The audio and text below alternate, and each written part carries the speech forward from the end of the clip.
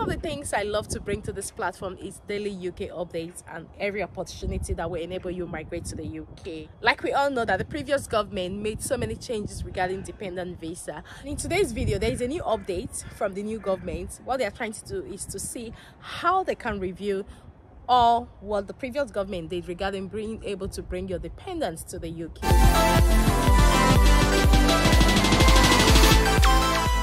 Hey guys welcome back to my channel. My name is fajira if you're joining me for the very first time i'm so happy to have you all in our beautiful family. And for my returning subscribers thank you for always coming back to watch my videos. I really do appreciate. If you're new to this channel i create contents on how you can migrate to the uk jobs or visa sponsorship in the uk uk immigration update live in the uk like everything you can think about the uk so if you're someone who is interested in such content or you know anybody who may be interested please do like and share this video with them. I'm sure they will find it helpful. And also to subscribe and join our beautiful family. So just as you can see on my screen. Labor orders review of plans 38,700 minimum salary to bring partners to the UK like we know that there has been so many changes in terms of being able to come with your dependent to the UK for even care workers for students and also UK residents. And we know that most of these changes were made in the previous government. Now, the new government, in as much as they are trying to keep up with some of the changes as well, as you can see that the Labour government now is trying to review what the previous government have done.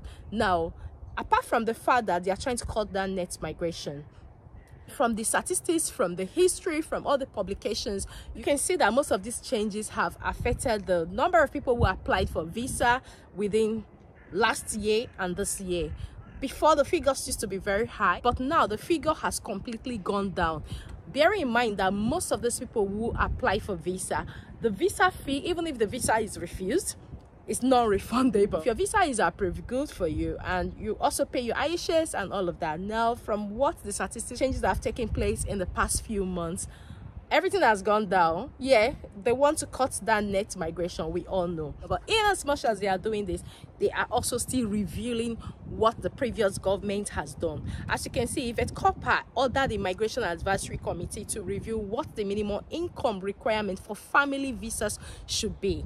Now in the past uh, updates she ordered that there should be suspension of the increase. The previous government was like they were going to increase it after it was increased to 29,000 to 34,000 something and thereafter 38,700 by 2025 now we are getting closer to 2025 and the new government have previously said that there should be a pause on what the previous government did. And not just only a pause. From what you can see labour has ordered a review of tories plan to make british worker earn 38,000 or more in order to bring their spouse to the uk home secretary yvette Cooper has given the migration advisory committee MAC nine months to report back on what the minimum income requirement for family visas should be under plans announced last year by Rishi Sunak, the threshold was hiked from 18,600 pounds to 29,000 pounds. So it was scheduled to rise to 34,500 and then 38,700 by early 2025 as a part of previous government plans to cut net migration by 300,000 a year. And imagine the previous government trying to cut migration for up to 300,000 a year. But in a letter on Tuesday to MAC, Chair Professor Brian Bell, Ms. Cooper said this government is committed to bring down net migration and creating a fair and coherent system, including on family migration policy. I would like you to review the financial requirements and in particular regarding the level of the minimum income requirement, the previous government's proposal to increase it and any other related consideration that you believe are relevant. Ms. Cooper stressed that Labour is always committed to bring down net migration, which rose to a record high 764,000 under the Conservative. And she said that when Professor Bell reports back, she will consider the recommendation and decide whether that it should be implemented. So now we don't even know if the salary requirement will be reduced after the review or it's going to remain at the figure the previous government has said they wanted it. But now till the next nine months when MAC will come back with this report, if you're currently in the UK as a British citizen or you have your indefinite leave to remain and you intend to bring your partner and children from overseas you currently have to earn the 29000 which it is at the moment. So nine months from now should be sometime around maybe june.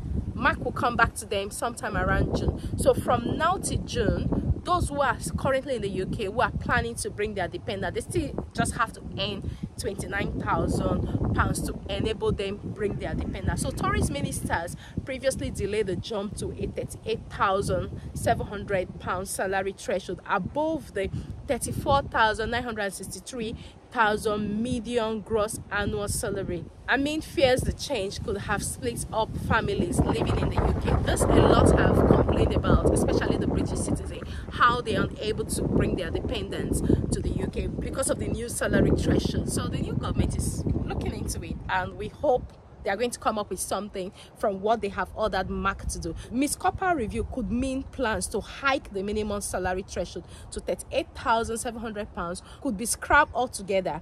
The measure was expected to reduce net migration by tens of thousands. Sir Starmer said employers had become too reliant on workers from overseas and should always have a choice of recruiting a British worker first, which is what has been on ground since. Campaign group Reunite Families welcomed the review of salary threshold for family visas. Co-founder and executive director Caroline Coombs said, for too long, hidden in plain sight, the policy has devastated the personal life of countless loving couples and families who were denied the possibility of being together in the UK just because they did not earn the right amount or could not meet the increasingly holders put in front of them in order to do so. So a lot of families as well have been devastated like we know that if you don't earn this amount you won't be able to bring your dependent. So with what is happening now, good thing about um, the new government giving MAC nine months to review this is that within that nine months people who still intend to bring their dependents can still do that without